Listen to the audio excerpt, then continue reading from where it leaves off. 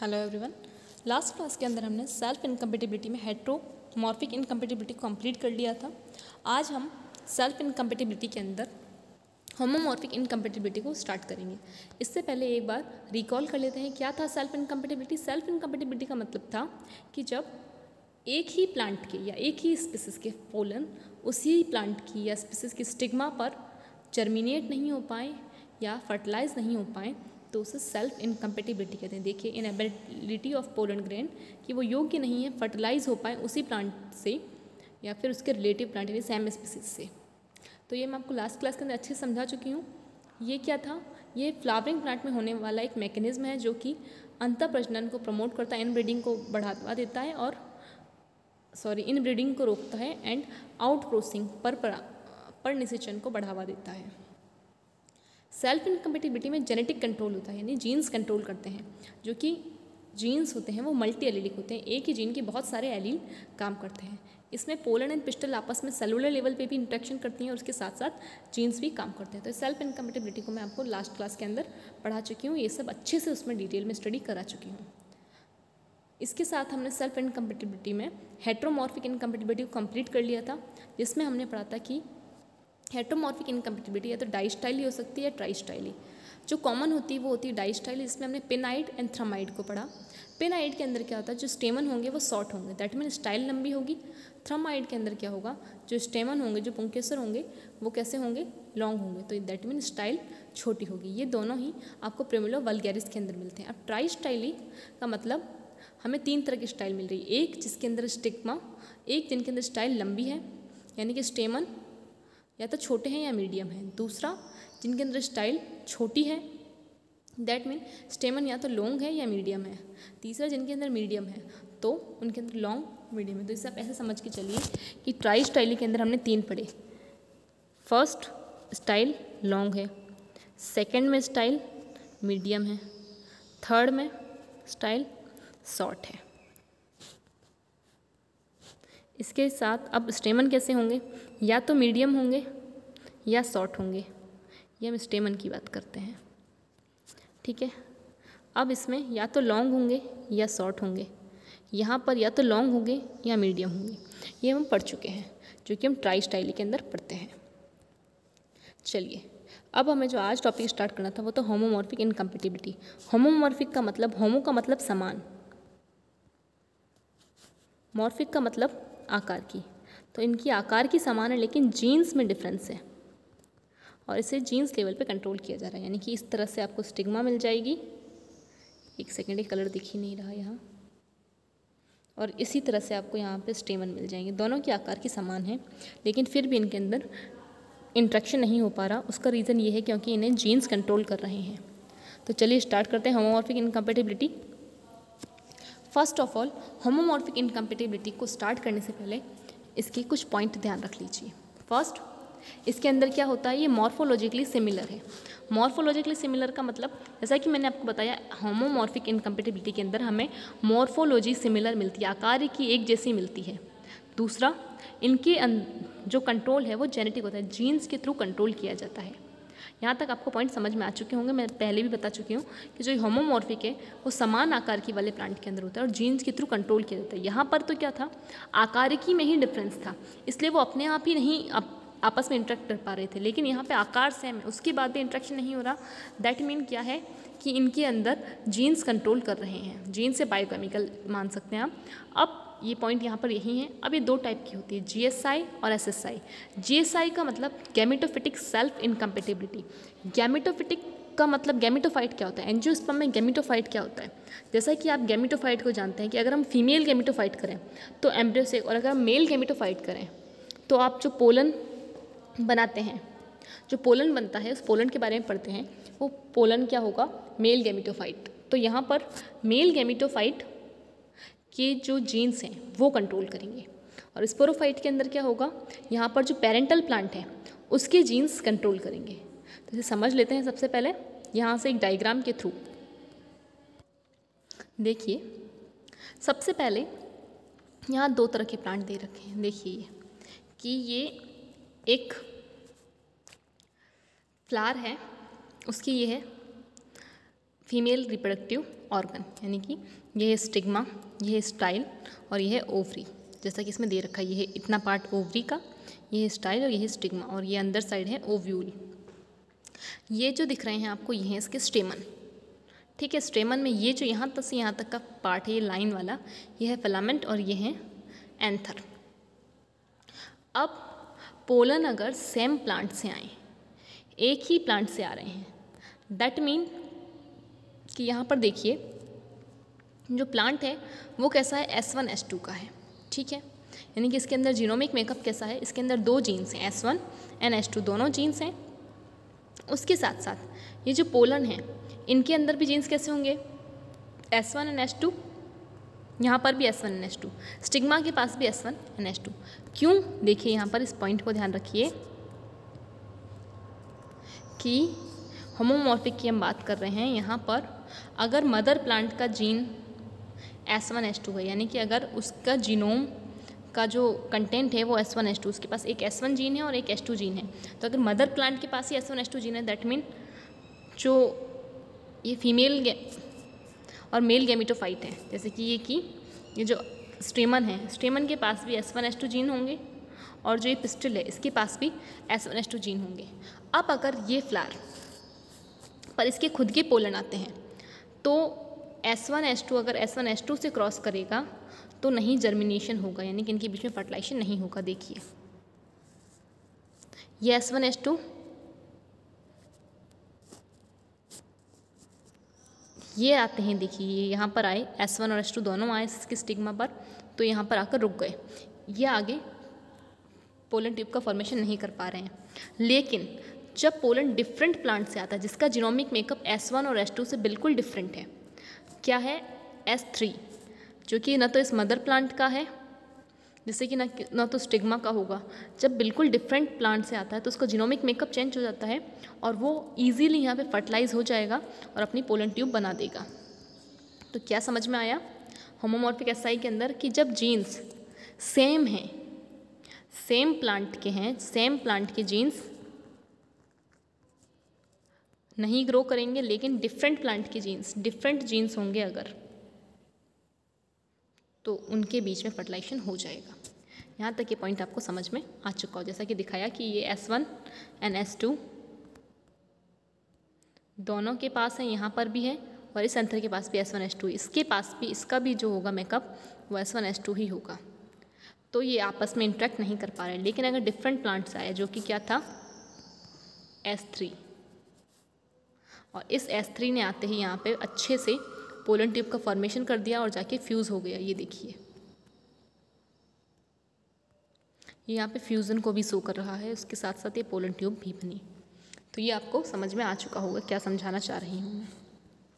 चलिए, अब homomorphic SI को भी हमने दो टाइप में डिफ्रेंशिएट किया है कि ये भी दो टाइप की होती है। कौन कौन सी? G S I and S S I G S I का मतलब क्या होता है? जैसा कि मैंने आपको बताया कि गैमिटोफाइट और गैमिटोफाइट इसके अंदर क्या है? या तो हम लें तो मेल गैमिटोफाइट में पोलन एंड फीमेल गैमिटोफाइट के अंदर हम लें तो एम्ब्रियोसेक फीमेल गैमिटोफाइट में एम्ब्रियोसेक तो यहाँ पर जो मेनली ध्यान रखना है, वो रखना है गैमिटोफिटिक सेल्फ इनकम्पेटिबिलिटी के अंदर कि जो जीन्स हैं, वो पोलन के मेन रोल प्ले करते हैं। और स्पोरोफिटिक सेल्फ इनकम्प्लीटिबिलिटी के अंदर जो स्पोरोफाइट स्पोरोफाइट कौन सा? मदर प्लांट या पेरेंटल प्लांट इसके जीन्स मेन रोल प्ले करते हैं। चलिए इसे अच्छे से स्टडी करते हैं। फ़र्स्ट ऑफ़ ऑल जीएसआई के बारे में पढ़ते हैं। GSI gametophytic self incompatibility gametophytic self incompatibility किसके थ्रू कंप्लीट हो रही है? बाय पोलन जीनोटाइप कौन डिसाइड कर रहा है इसको? कि उस स्टिग्मा पर वो पोलन जर्मिनेट हो या ना हो, ये कौन बात डिसाइड कर रहा है? ये उस पोलन के जीन्स डिसाइड करते हैं कि वो सेम प्लांट की जो स्टिग्मा है या उसी के सेम स्पीसीज के स्टिग्मास पर नहीं होंगे जर्मिनेट तो अगर पोलन के जीन्स अपने आप को ही जर्मिनेशन से रोकते हैं सेम स्टिग्मा पर तो उसे जीएसआई कहेंगे। ये इनकम्पेटिबिलिटी में क्या, कौन से जीन्स प्ले कर रहे हैं? अगर हम जनरली बात करें तो ये हमें एक सिंपल सा जो जीन का क्लस्टर है यहाँ पे, वो सिंगल एस जीन को लिया जाता है। देखिए, यहाँ पे कुछ कुछ पॉइंट ध्यान रखिएगा। थोड़ा सा मैंने आपसे कहा था, जैसे कि ट्रिकी है। तो यहाँ पे जो मैं आपको पॉइंट बोलूँ, उन्हें ध्यान रखिएगा। कि फ़र्स्ट चीज़ कि ये पोलन की जीनोटाइप से कंट्रोल होता है।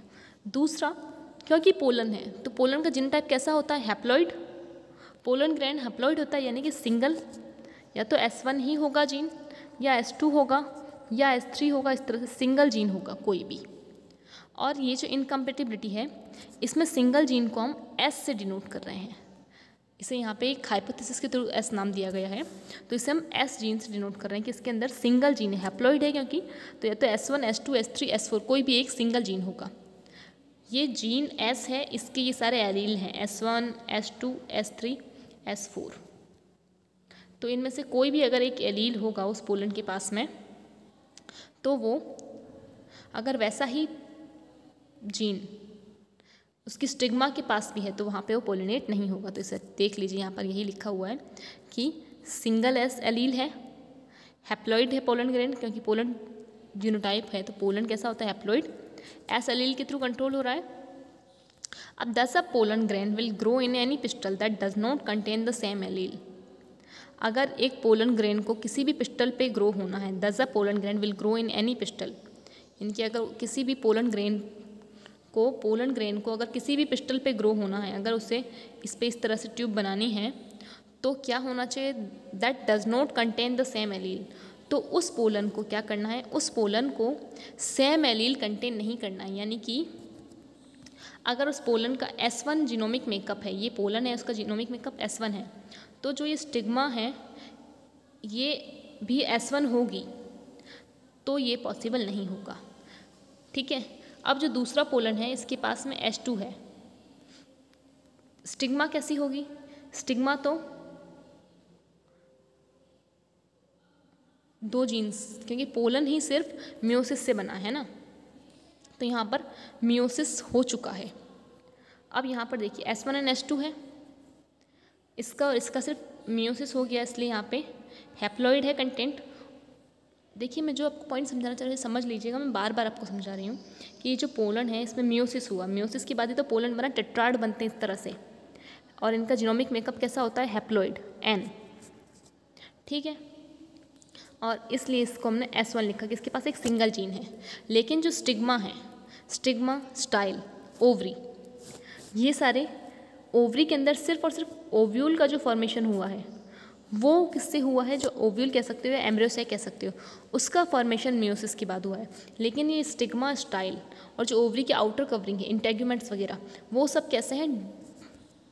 वो सब ओवरी स्टिग्मा ले लें, चाहे स्टाइल ले लें, चाहे इंटेग्यूमेंट वगैरह ले लें ओवरी के, ये सभी डिप्लॉयड हैं। डिप्लॉयड है मतलब इनके पास एस वन एस टू या एस टू एस थ्री या एस वन एस फोर इस तरह से डिप्लॉयड दो जीन्स होंगे। तो जब इस पोलन के पास एस वन है और वो इसके पास आएगा तो यहाँ पर नहीं फ्यूज़ हो पाएगा, क्योंकि इसके पास पहले से ही एस वन है। अगर एस टू आता है तो भी यही सीन रहेगा। लेकिन अगर एस थ्री आता है तो ये यहाँ पर फ्यूज़ हो जाएगा फर्टिलाइजेशन हो जाएगा। इसे आप आगे डायग्राम के थ्रू समझ लीजिएगा। यहाँ तक कंप्लीट हो गया कि thus a pollen grain will grow in any pistil अगर उसे किसी पिस्टल पे ग्रो होना है तो उसको सेम एलील कंटेंट नहीं करने हैं। ठीक है? जैसा कि अगर हम एसएसआई में पढ़ते हैं तो एसएसआई में क्या होता है? अगर हम एसएसआई कॉन्ट्रास्ट में पढ़ें कि अगर एस टू पोलन है, ठीक है? From an S one S two parental will grow down an S one S three style कि S two pollen S one S two के ऊपर तो ग्रो नहीं होगा, लेकिन अगर ये एस वन एस थ्री पे जाएगा तो यहाँ पे ग्रो हो जाएगा। इसे डायग्रामेटिक समझ लीजिए। आपको जो इसमें पॉइंट ध्यान रखना है, वो सिर्फ़ ये तीन पॉइंट हैं, एक ये, दूसरा ये और तीसरा यहाँ तक। ये जो लाइन है इसे आप डायग्रामेटिक समझा देती हूँ मैं। चलिए, कि देखिए, मान लेते हैं कि ये जो पोलन है इन पोलन का, इसका भी एस वन एस टू है और ये भी, ये एस वन है और ये भी, ये एस टू है। दोनों ही नहीं कर पाए। अब यहाँ पर तीनों ही जो स्टाइल है, तीनों ही स्टाइल का जो जीनोमिक कंटेंट है वो सेम है, यानी कि तीनों ही स्टाइल का एस वन एस टू है। लेकिन पोलन का क्या था? यहाँ पर एस वन एस टू यहाँ, एक एस वन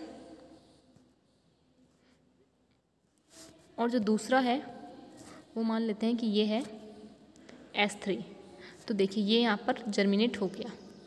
अब यहाँ पर ये एस थ्री है और ये एस फोर है।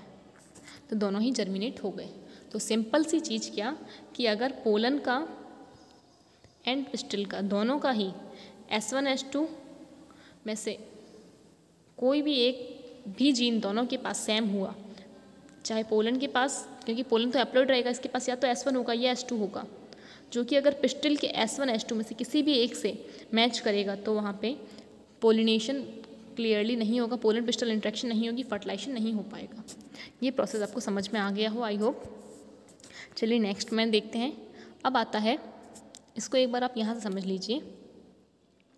और अच्छे से कि देखिए, ये है एस वन एस टू का एंथर ठीक है?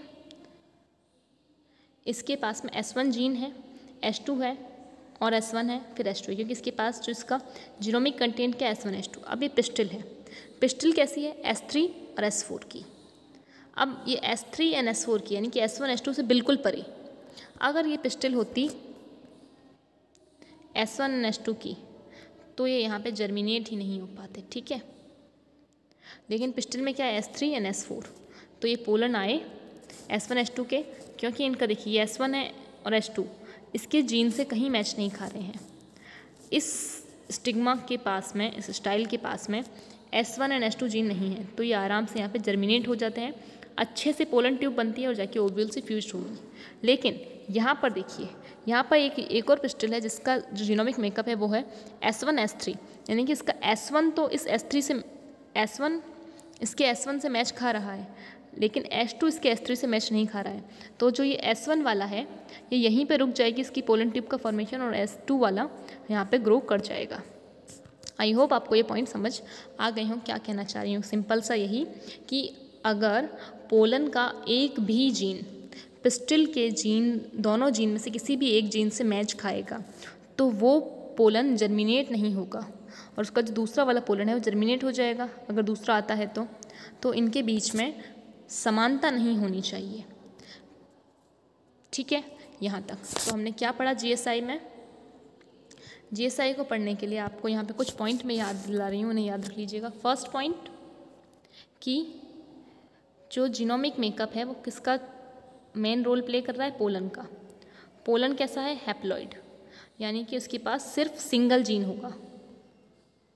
सिंगल जीन होगा, चाहे वो, और वो एस का कोई भी एलील हो सकता है। थर्ड क्योंकि पोलन कब बनता है? पोलन बनता है मियोसिस के बाद। तो इसमें मियोसिस हो जाता है। फोर्थ जो पोलन का जर्मिनेशन है, वो स्टिग्मा की सरफेस को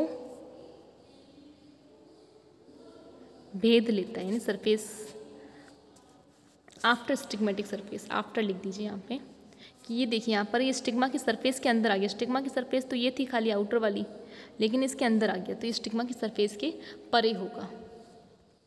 यहाँ तक आपको ये पॉइंट समझ आ गए होंगे। अगर हम बात करें एसएसआई की तो एसएसआई के अंदर पहले आपको ये सब समझाने से पहले सिंपल सा जैसा कि मैंने कहा था कि इसके अंदर parental plant main role play करता है, क्योंकि स्पोरोफाइट क्या होता है? पेरेंटल प्लांट ही होता है। उसका जो जीनोमिक मेकअप है, वो मेन रोल प्ले करेगा। ठीक है? पेरेंटल प्लांट का जीनोमिक मेकअप रोल प्ले करता है। दूसरा मियोसिस से पहले होगा बिफोर ये और अच्छे से समझा दूँगी। तीसरा पॉइंट स्टिग्मा की सरफेस पर ही ऑन स्टिग्मेटिक सरफेस होगा, जो भी काम होगा स्टिग्मा की सरफेस से बिल्कुल नीचे नहीं आएगा। आएगा वहीं के वहीं, जो भी होना है वहीं होगा। तो यहाँ तक आपको ये पॉइंट समझ में आए हों। इसको यहाँ से देखिए कि जब हम गैमिटोफिटिक की बात करते तो ये जो पोलन्स बने, इनमें से कोई भी एक पोलन अगर इनसे किसी से भी समानता रखता था तो वो देखिए स्टिग्मा की सरफेस को भेज चुका है। इसके बाद इसका जर्मिनेशन रुका। लेकिन अगर हम स्पोरोफिटिक की बात करें तो देखिए यहाँ पे S one S two S two ये सारे ही पोलन हैं। ठीक है, इनका जीनोमिक मेकअप क्या है? इस एंथर का ही genomic makeup S one S two है तो इन पोलैंड के पास भी एस वन या एस टू ही होगा। अब इस एस वन या एस टू जीनोमिक मेकअप वाले पोलन जब स्टिग्मा पे जाते हैं एस थ्री एस फोर वाले पे तो ये यहाँ पर ईजिली फर्टिलाइज हो जाएँगे, जैसा कि यहाँ हुआ। लेकिन अगर ये यहाँ जाते हैं तो यहाँ देखना आपने ये नोट किया था कि यहाँ पर एक तो फर्टिलाइज्ड हो ही गया लेकिन यहाँ पर क्या हुआ? यहाँ पर दोनों का ही फर्टिलाइजेशन रुक गया। तो सिंपल सा, और वो भी स्टिग्मा की सरफेस पे ही रुक गया। तो म्यूसिस से पहले हो रहा स्टिग्मा की सरफेस पे रुक जाता है, और यहाँ पर दोनों का फर्ट जो पोलिनेशन इंट्रैक्शन है, रुक जाती है यहाँ पर। जो सेम है, उसकी रुकती है, बाकी डिफरेंट वाली की होती रहती है। यहाँ पर दोनों जो पेयर आए हैं, उनकी रुक जाती है। यहाँ तक तो आपको पॉइंट समझ आ गया हो। एसएसआई के बारे में एक हल्का सा पढ़ लेते हैं। एसएसआई क्या है? एसएसआई एक स्पोरोफिटिक पेरेंटल प्लांट जीनोटाइप यानी कि एस किसके थ्रू कंट्रोल हो रही है? सेल्फ इनकम्पेटेबिलिटी या फिर से आप कह सकते हैं स्पोरोफिटिक सेल्फ इनकम्पेटेबिलिटी नाम ही इसका है स्पोरोफिटिक स्पोरोफाइट का मतलब जो स्पोरोफाइट होता है, जो एक वेजिटेटिव प्लांट बॉडी है वो। वो अगर सेल्फ इनकम्पेटेबिलिटी को रोल प्ले करे। वेजिटेटिव प्लांट बॉडी सेल्फ यानी कि पेरेंटल प्लांट अगर इसके जीनोम सेल्फ इनकम्पेटिबिलिटी को कंट्रोल करते हैं तो उसे एस कहते हैं। ये स्पोरोफिटिक पेरेंटल प्लांट जीनोटाइप द्वारा कंट्रोल होती है, देखिए यहाँ पर, यहाँ तक हुआ। अब इस पॉइंट को समझिएगा कि rejection of self pollen is controlled by the diploid genotype of the sporophyte generation क्योंकि जो स्पोरोफाइट होता है, वो स्पोरोफाइट क्या है? वेजिटेटिव है, और वेजिटेटिव की जो सेल होती है, वो डिप्लॉयड होती है।